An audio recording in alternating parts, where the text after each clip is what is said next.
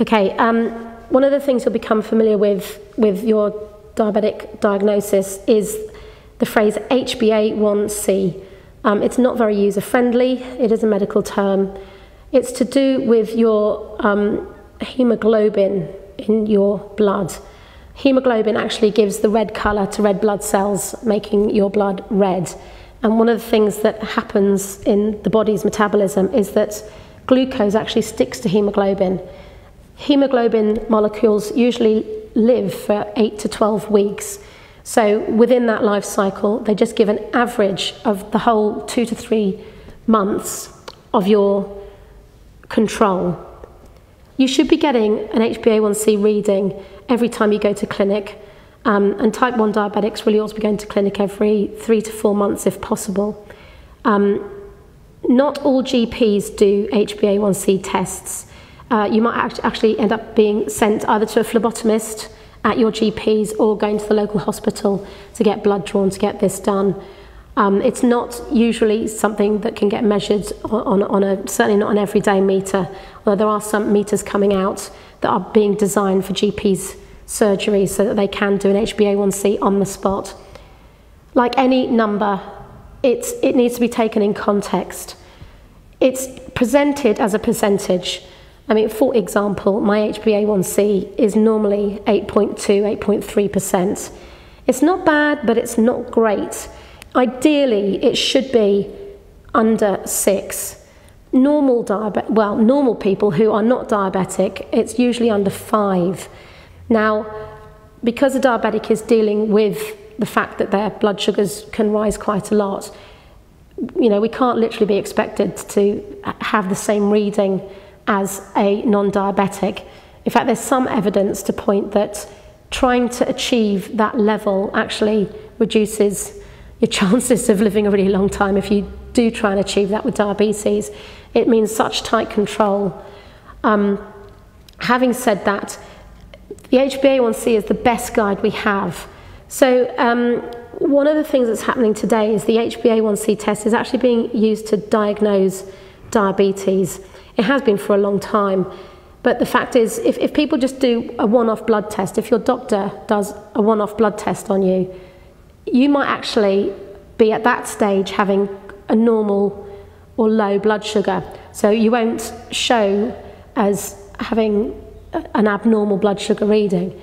But if you have blood tests done over the space of a couple of weeks, you might find that there are peaks and troughs that are not normal. Normal non-diabetics simply don't go out of this range. If the range is like this, people stay within it. Diabetics tend to do this. You go over and above the norm.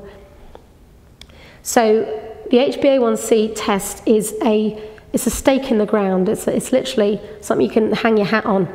It, it, it, it, you can't judge all your diabetic control from it because of the fact it's an average. If your HbA1c is 6.5, it might actually be hiding quite badly controlled diabetes, where you might be spending an awful lot of time having hypos, which wouldn't be very desirable in terms of quality of life.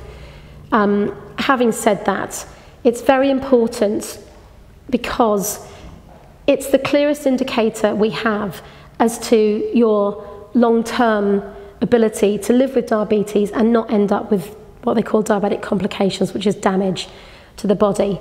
Uh, there was a test called the DCCT. It was done in America. It wasn't a test, it was a study.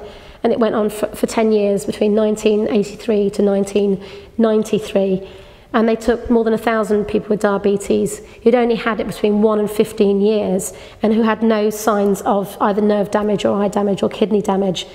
And they put them into two groups. One had normal control as per the time frame, the, the, the history, how, how, it was looked at being controlled back then, which is 25 years ago, um, at, versus what they called tight control, which is really it's carb counting, multiple blood testing, multiple injections. And they were able to show that the multiple, you know, that the tight control helped stave off any complications. It helped to have much better um, HbA1c results, and good HbA1c results lead to a much better long-term prognosis. So The HbA1c is an important number, and you should be getting it looked at at least every three to six months. And if, if the number's always good, then there's no need to worry. Uh, but if it's always bad, then you know you need to keep keep trying with new medications and new tools until you can get the balance right in your life. So just a point about using the HbA1c test to diagnose diabetes. If it comes up at, as higher than or greater than 6.5%, you're pretty much defined as having diabetes. If it comes up between 6 and 6.5, you're probably going to get diagnosed with pre-diabetes, or what's for a while was called like 1.5 diabetes, um, as opposed to type 1 or type 2. But if your reading is less than 6%, then you're not considered to be either pre-diabetic or diabetic.